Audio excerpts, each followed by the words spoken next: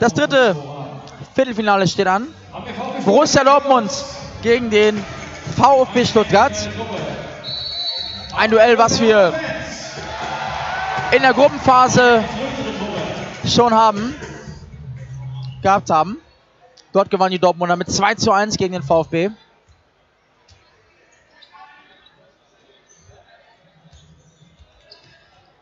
Das aber auch wirklich ein enges, knappes Spiel, das so oder so hätte ausgehen können. Jetzt aber die Dortmunder im Angriff. Am Dribbelsolo von David Kopac. Der den Ball behauptet und dann der Abschluss von Philipp Wagner. Jetzt der Einroller. Wir erinnern uns, die Dortmunder besonders stark nach Standards, Ecken und Freistöße. Dadurch haben sie das Spiel gegen Bielefeld fast ja nur deswegen gewonnen. Drei der vier Tore gingen aufs Konto von Standardsituationen.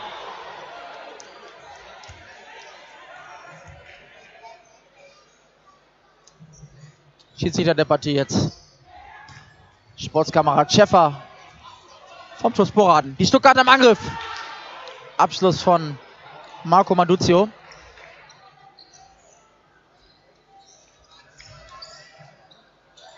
Für die Stuttgarter.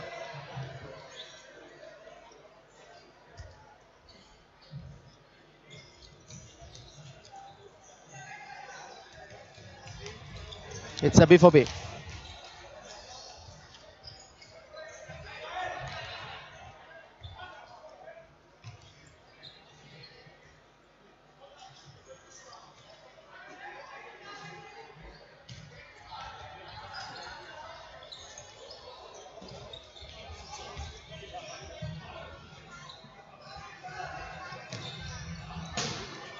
Schussversuch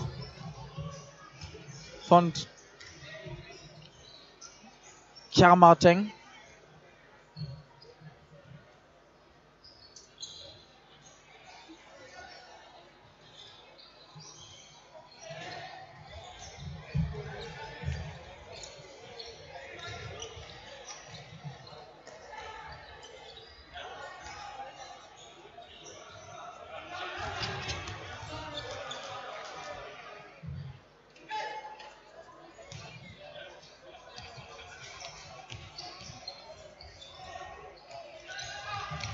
Wenn schnell gegangen wäre, wäre das Überzahlspiel da gewesen. Dieses taktische Foul. Jetzt aber der Freistoß.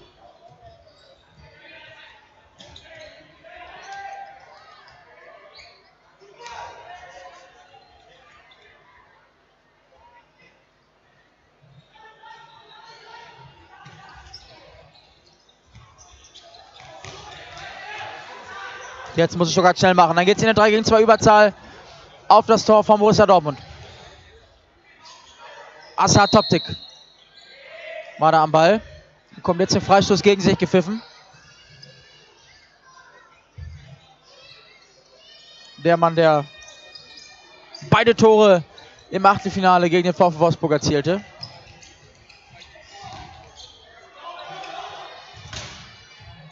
Und jetzt der Abschluss von Philipp Wagner. Abschlussstärkster Spieler bisher beim BVB.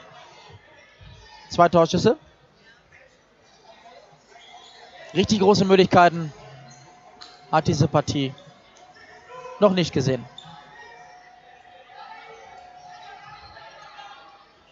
Jetzt ist wieder Jerome Beisheit. Auch er der Garant vorhin im Tor beim 9-Meter-Schießen gegen den VfL Wolfsburg.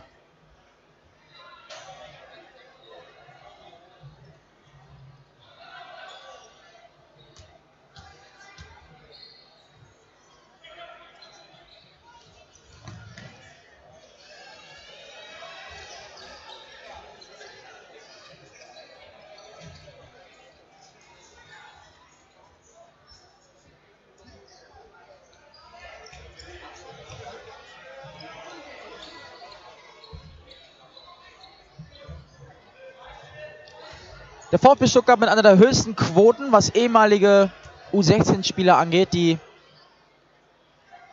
im Profibereich mittlerweile spielen.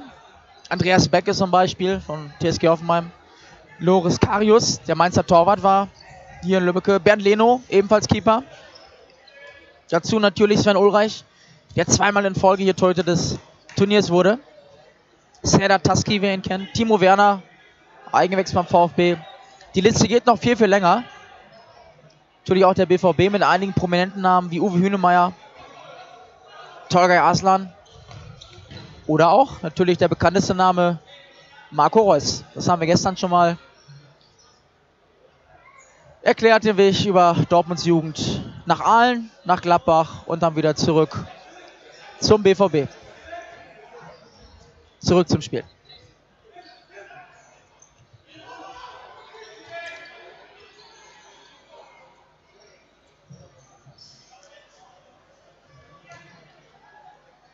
Weisheit. Wieder der Keeper der Stuttgarter. Und er könnte in große Fußstapfen treten, in meinen Augen. Für mich einer der stärksten Keeper hier im Turnierverlauf. Wird sicherlich auch beim Wettbewerb davon abhängen, wie weit die Stuttgarter kommen. Aber in meinen Augen Weisheit einer der Favoriten auf den Titel Torhüter des Turniers.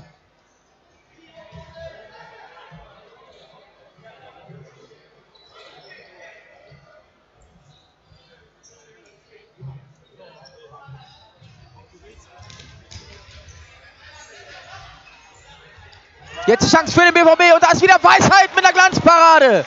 Gerade noch angesprochen von Luca Kilian. Vereitelt diese Chance. Macht einfach einen bärenstarken Eindruck. Jetzt wieder der Ball freigespielt vom BVB. Dortmund erhöht die Schlagzahl.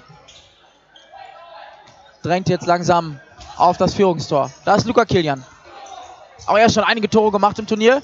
Über die Bande gespielt, das war keine schlechte Idee. Und jetzt gibt es berechtigterweise einen Freistoß für den VfB Stuttgart.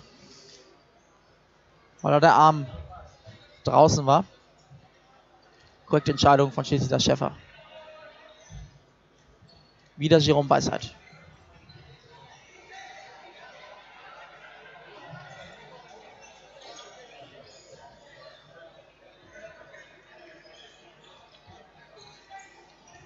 Stuttgart wieder mit drei Spielern vorne. Das war ein klasse Pass. Auf Toptick. Aber dann gut verteidigt vom BVB. Oh, das war ein falscher Einroller, richtig.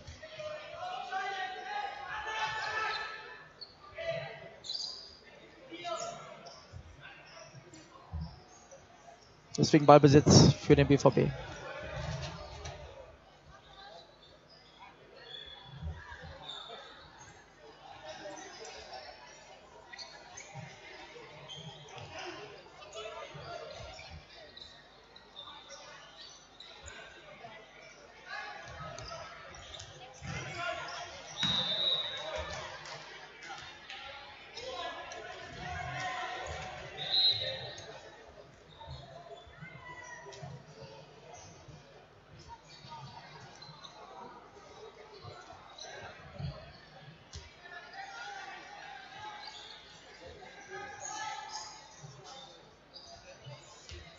Wir haben es heute schon mal angesprochen, für die, die später dazu geschaltet haben. Der VfB Stuttgart hätte die Chance, mit Rekordsieger Hertha BSC gleich zu ziehen. Drei Siege stehen auf dem Konto des VfB, vier bei Hertha. Der BVB gewann dieses Turnier noch nie. Bisher reichte es bei zwölf Teilnahmen nur für eine Finalteilnahme im Jahr 2007.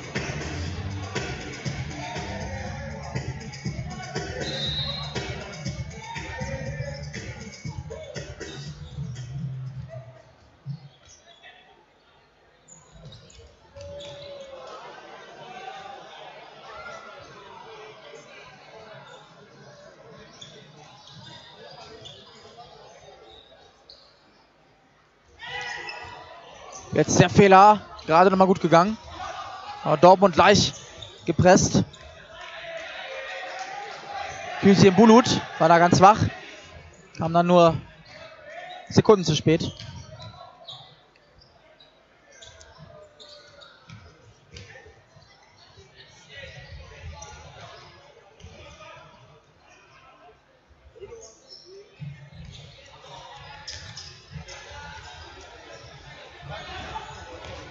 Jetzt sogar Kilian nochmal.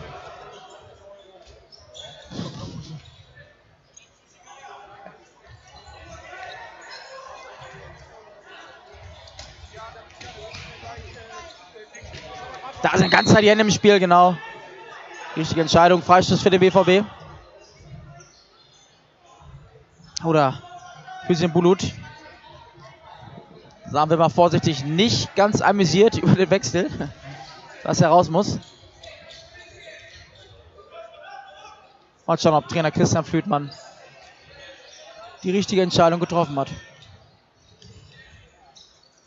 Das war stark gespielt. Jetzt die Drehung.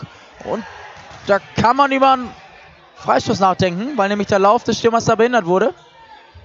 Schäfer schüttelt gleich mit dem Kopf. Jetzt gibt es den Freistoß.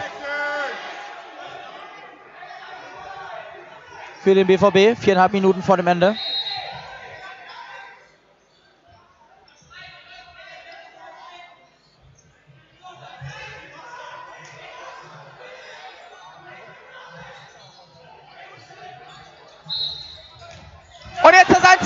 Wieder eine Standard.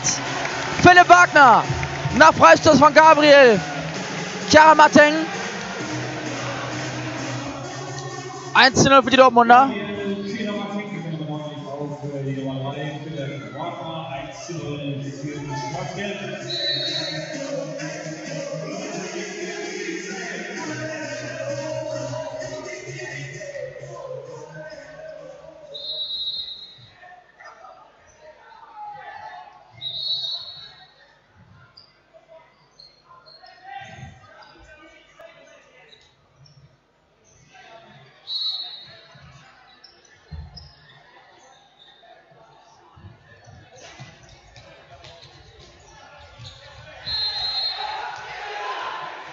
Wieder gibt es Freistoß für die Schwarz-Gelben.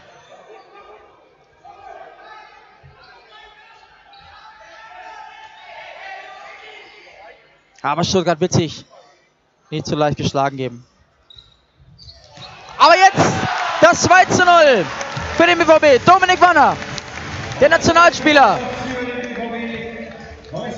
Dreieinhalb Minuten vor Ende der Partie.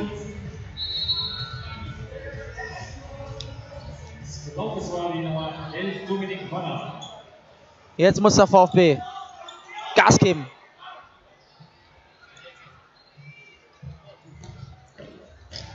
Jetzt zum Beispiel. Gute Möglichkeit, aber der BVB-Torwart war zur Stelle. Chiara Mateng kriegt jetzt einen Freischuss gegen sich gepfiffen. Gegen Gumu.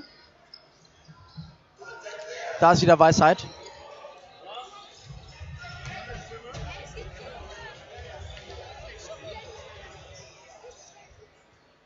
Stuttgart fehlt jetzt so ein bisschen an Genauigkeit im Spiel. Doch wenig Chancen erspielt.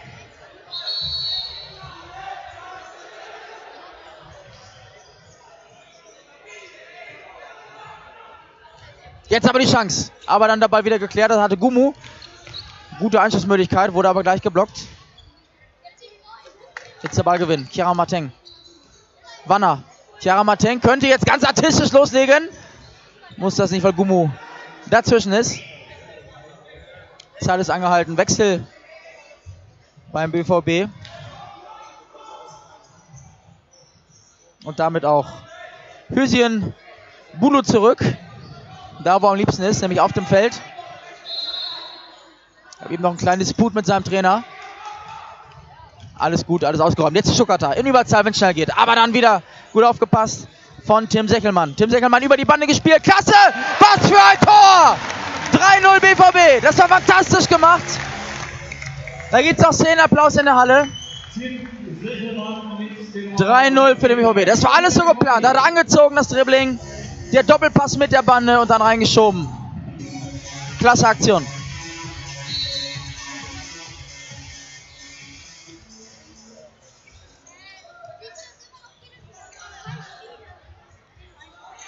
Die Nisse.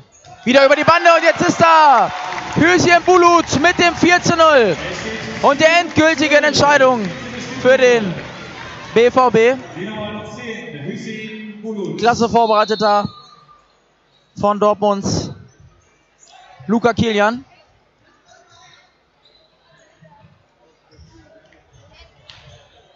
Jetzt die Stuttgarter kommen immerhin zum Anschlusstreffer zum 1 zu 4 durch Assa Toptik, der sich natürlich auch nochmal mit einem Tor verabschieden muss.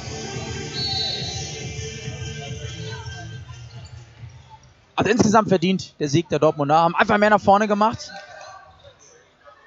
In der Höhe vielleicht etwas zu hoch.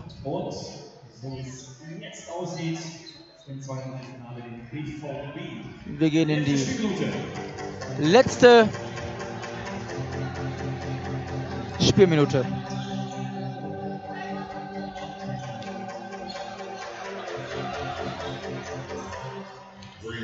Nochmal der Versuch von Philipp Rogalski.